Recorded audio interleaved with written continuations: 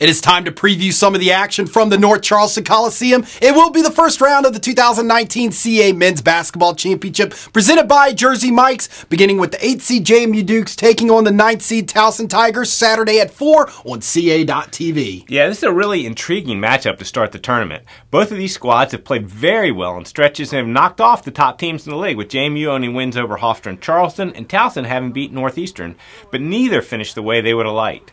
They split their two head to head matchups with the Dukes winning 74 65 in January and the Tigers posting a 65 59 victory in February.